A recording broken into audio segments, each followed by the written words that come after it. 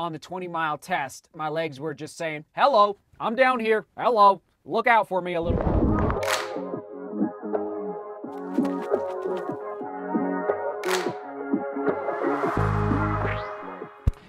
Busy times in the studio. I haven't forgotten about this guy.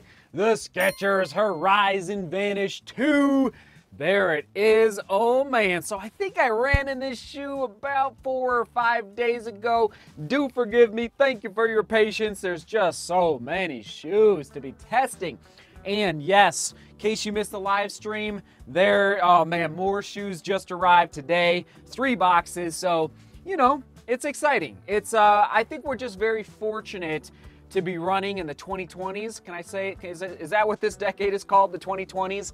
Uh, because just imagine 10 years ago, 15 years ago, no Hoka, no Skechers really, no, um, oh man, you're putting me on the spot now. Anyway, there's new companies, even like the North Face, to a certain extent as far as like running shoe companies bottom line let me help me out down in the comments what other companies right now that you purchase and use their shoes, run in their shoes that weren't around, let's say before about 2010. Altra, there you go, there's another one. So I think we're very fortunate to have so many options at this point in time, including with Skechers, which they're making their way. A lot of people don't like Skechers, uh, but I think they are pushing the envelope and trying new things, be, trying to innovate in the running shoe space in 2021. All right, let's dive in. Here we go. I took it out for 20 miles. Oh, Nelly at 645 a mile. 20 miles at 640. It was a doozy out there, that is for sure. Let's do the twist chest. A neutral road running shoe, 100%. It's dancing like you've never seen a dance before, everybody. It is, actually, I'm getting dirt all over myself here. Um, so 20 miles, 645 a mile. We got a four millimeter drop from heel to toe, 29 in the heel, 25 in the forefoot. There you go for the stack height, medium, basically a medium stack height for the weight, women's size 8, men's size 9. Let's put it on the scale. I think we're in the fives, which is amazing. 5.5 in my size. We'll come back to the weight here in a second. Going with 9.5 out of 10. Just an amazing weight for this guy. And that mono mesh upper, uh, same as the, or similar, I should say, to the Speed Elite Hyper, if you're familiar with that shoe from Skechers. Lockdown, eh, not amazing. What I've learned with mono mesh is that, again, I talked about this for the, uh, oh, there it is, the Reebok Floatride Run Fast Pro, or sorry, Run Fast 3.0 it kind of these uppers kind of feel similar actually. If you didn't see this uh, first impression vlog from about two or three days ago up right hand corner for this shoe the reebok and similar feel. And i'm gonna say that this horizon vanish 2 is not creating the best lockdown. It's a very nimble lightweight flexible. There's the heel counter okay? It's like i could just do that to it. So what they're going for is lightweight uh, almost like a slipper feel underfoot. Very, very nimble and malleable. That's another word for it. And overall score for the upper, not amazing. 6 out of 10. There you go. Ultraflight foam through that midsole. Ride and energy.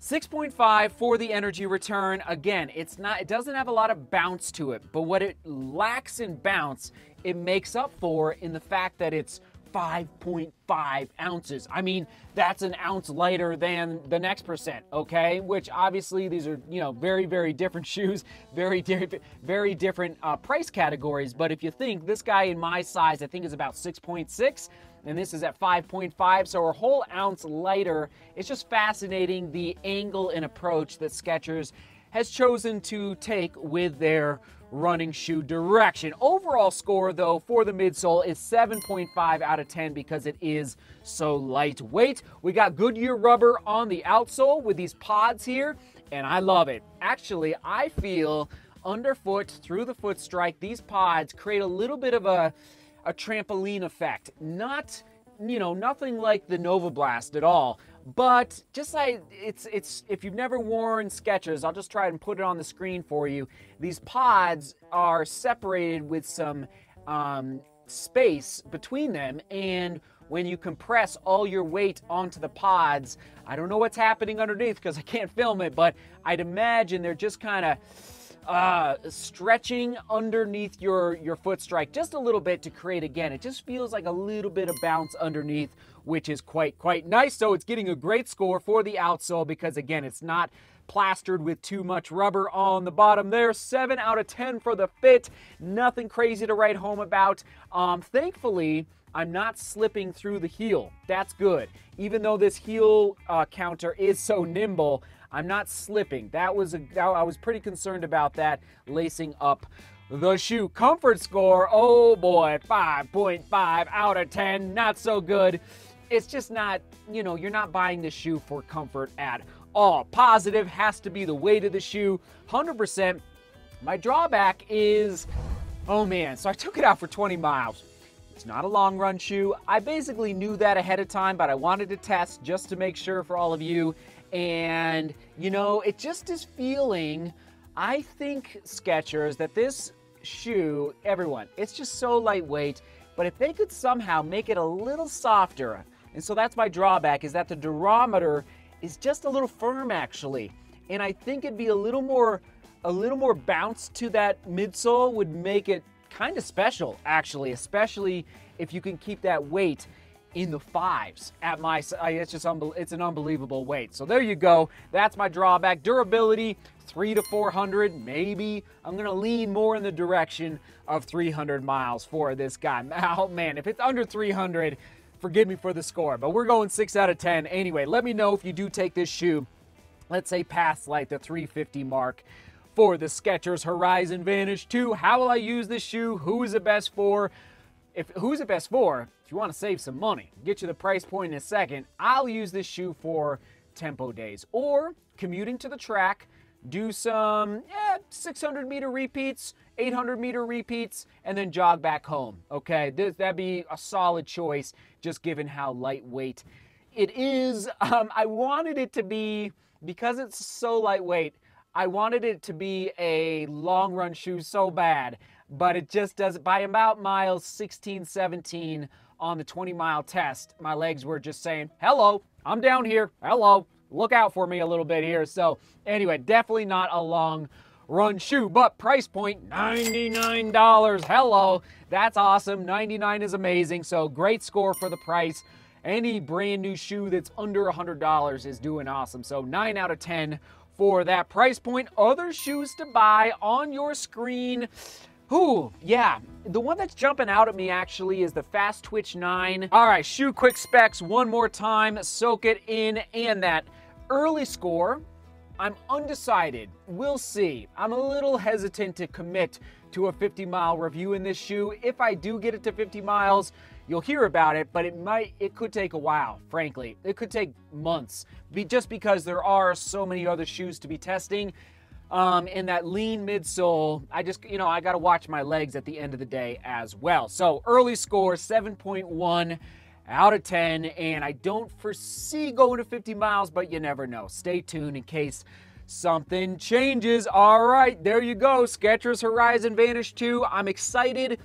It's light, it's fun, it's tempo day, six to eight miles, four to seven miles. Just go let it rip a little bit on a tempo day and then get back home and you know let your legs rest. It's just not it's not uh, it's not much beyond that. That is for sure. Question of the day: What is your greatest running memory? I've asked this before, but it's been a little while. And listen, we can never pick one great running memory. So if you want to share a couple, feel free to do so down in the comments. All right, greatest running memory. Can't wait, wait to read all about them. Thanks for tuning in once again. Lots of shoes, everybody. Oh, if, if I'm doing too many shoes, you just let me know down in the comments. But, you know, I think it, I think these vlogs help. That's another good question. Do these vlogs help inform you as you're trying to make running shoe purchasing decisions? Just because there are so many, like we talked about at the beginning. All right, we'll toss it to the Horizon Vanish vlog from a year ago. Horizon Vanish vlog from one year ago right there, right there. I don't even recall if it was a full review. I have no idea. But anyway, I think I have a vlog from about a year ago for the Horizon Vanish 1. All right, everyone, seek beauty, work hard, and love each other. See you tomorrow.